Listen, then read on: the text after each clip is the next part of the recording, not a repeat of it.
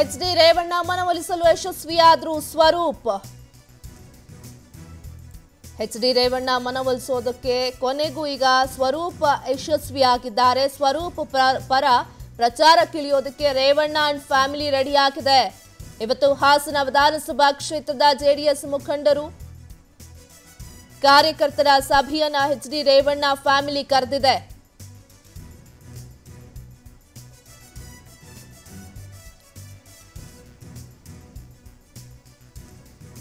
ಸಭೆಯಲ್ಲಿ ರೇವಣ್ಣ, ಭವಾನಿ, ಪ್ರಜ್ವಲ್ ಸ್ವರೂಪ್ ಎಲ್ಲರೂ ಕೂಡ ಭಾಗಿಯಾಗ್ತಾರೆ.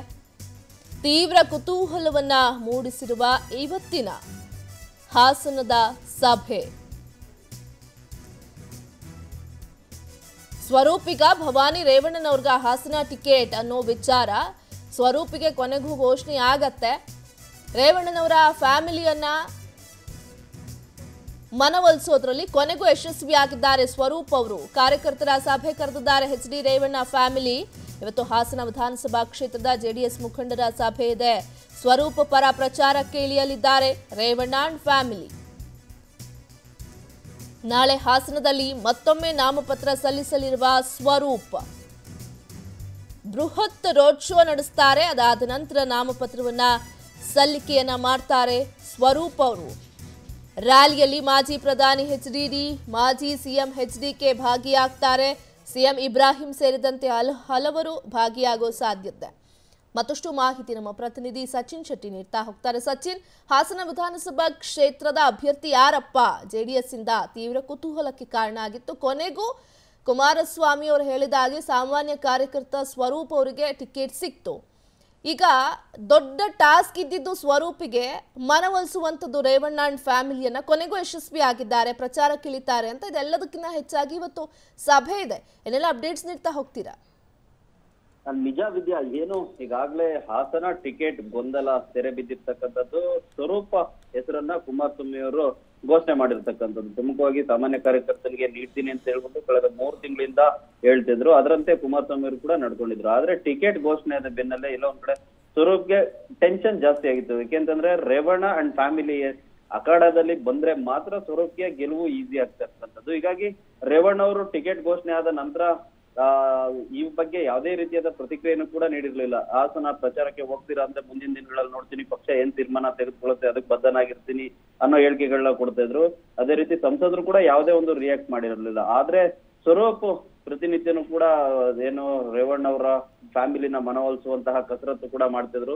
ಕುಮಾರಸ್ವಾಮಿ ಮುಖಾಂತರನು ಕೂಡ ಕಸರತ್ತು ಮಾಡ್ತಿದ್ರು. ಆದ್ರೆ ಎಲ್ಲ ಒಂದ್ ಕಡೆ ಈಗ ಒಂದು, ಆ ಮನವೊಲಿಸುವಂತಹ ಕಾರ್ಯ ಸಕ್ಸಸ್ ಆಗಿದೆ ಅಂತ ಹೇಳುದು. ಯಾಕೆಂತಂದ್ರೆ ಇವತ್ತು ದಿಢೀರ್ ಅನ್ನೋ ರೀತಿಯಲ್ಲಿ ರೇವಣ್ಣ ಅವರು ಒಂದು ಕಾರ್ಯಕರ್ತರ ಸಭೆಯನ್ನ ಜ್ಞಾನಾಕ್ಷಿ ನಗರದ ಜ್ಞಾನಾಕ್ಷಿ ಕಲ್ಯಾಣ ಮಂಟಪದಲ್ಲಿ ಕರೆದಿರ್ತಕ್ಕಂಥದ್ದು. ಇದು ಎಲ್ಲ ಒಂದ್ ಕಡೆ ಸ್ವರೂಪ್ಗೆ ಗೆಲುವಿನ ಆದಿ ಸುಗಮ ಆಗ್ತಾ ಅನ್ನೋ ಒಂದು ಪ್ರಶ್ನೆಯನ್ನು ಕೂಡ ಕಟ್ತಿರ್ತಕ್ಕಂಥದ್ದು. ಯಾಕೆಂತಂದ್ರೆ ರೇವಣ್ಣ ಅವರು ತನ್ನದೇ ಆದ ಹಿಡಿತವನ್ನ ಇಡೀ ಹಾಸನ ಜಿಲ್ಲೆಯಲ್ಲಿ ಇಟ್ಕೊಂಡಿದ್ದಾರೆ. ಅದೇ ರೀತಿ ಒಂದು ದೊಡ್ಡ ಕಾರ್ಯಕರ್ತರ ಪಡೆನು ಕೂಡ ಹೊಂದಿದ್ದಾರೆ. ಅಷ್ಟೇ ಅಲ್ಲದೆ ಸಂಸದರು ಇದ್ದಾರೆ ಪ್ರಜ್ವಲ್ ರೇವಣ್ಣ ಇದ್ದಾರೆ, Suraj Revanna M L C ಆಗಿ ಕೂಡ ಇದ್ದಾರೆ.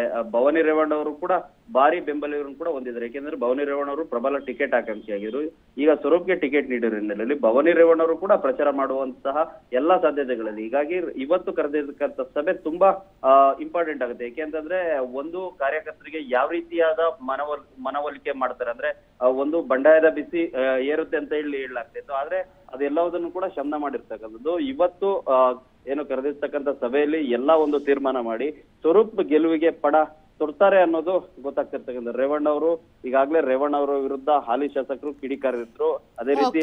ಸವಾಲುಗಳನ್ನು ಕೂಡ ಹಾಕಿದ್ರು. ಈ ಎಲ್ಲಾ ಸವಾಲುಗಳನ್ನ ಮೆಟ್ಟಿ ನಿಲ್ಬೇಕು ಅಂದ್ರೆ ರೇವಣ್ಣ ಅವರು ಈ ಈ ಒಂದು ಸ್ವರೂಪರವಾಗಿ ಪ್ರಚಾರಕ್ಕೆ ಇಳಿದ್ರೆ ಇದೆಲ್ಲ ಸಾಧ್ಯ. ಹೀಗಾಗಿ ಒಂದು ರೇವಣ್ಣ ಅವರಿಗೆ ಇರ್ತಕ್ಕಂಥದ್ದು ಹಾಲಿ ಶಾಸಕರು ಏನು ಪ್ರೀತಮ್ ಕೊಟ್ಟಿದ್ದಾರೆ, ಅವ್ರನ್ನ ಈ ಬಾರಿ ಮಾಜಿ ಶಾಸಕರನ್ನ ಮಾಡ್ಬೇಕು ಅಂತ ಹೇಳಿ ಪಣ ಕೊಟ್ಟಿದ್ದಾರೆ. ಹೀಗಾಗಿ ಸ್ವರೂಪ, ಸೂಕ್ತ ಅಭ್ಯರ್ಥಿ ಅನ್ನೋದು ಕೂಡ ಅರಿವಾಗಿರೋ ಇಲ್ಲಿ, ಆ, ಈ ಒಂದು ಪ್ರಚಾರಕ್ಕೆ ನಾಳೆ ನಡೀತಕ್ಕಂತಹ ಒಂದು ಬೃಹತ್ ರ್ಯಾಲಿ ಏನಿದೆ, ಅದರಲ್ಲಿ ದೇವೇಗೌಡರಾಗಿರ್ಬೋದು, ಕುಮಾರಸ್ವಾಮಿ, ರಾಜ್ಯಾಧ್ಯಕ್ಷ ಇಬ್ರಾಹಿಂ ಅವರು ಕೂಡ ಭಾಗಿಯಾಗ್ತಾರೆ. ಭಾಗಿಯಾಗುವ ಮುಖಾಂತರ ಬಿಜೆಪಿ ನಡೆಸಿದ ರ್ಯಾಲಿಗೆ ಟಕ್ಕರ್ ಕೊಡಲು ಜೆಡಿಎಸ್ ಒಂದು ಮಾಸ್ಟರ್ ಪ್ಲಾನ್ ಅನ್ನೇ ಮಾಡಿದೆ ಅಂತಾನೆ ಹೇಳ್ಬೋದು Vidya. Okay thank you Sachin Shetty ತಮ್ಮೆಲ್ಲ ಡೀಟೇಲ್ಸ್ಗೆ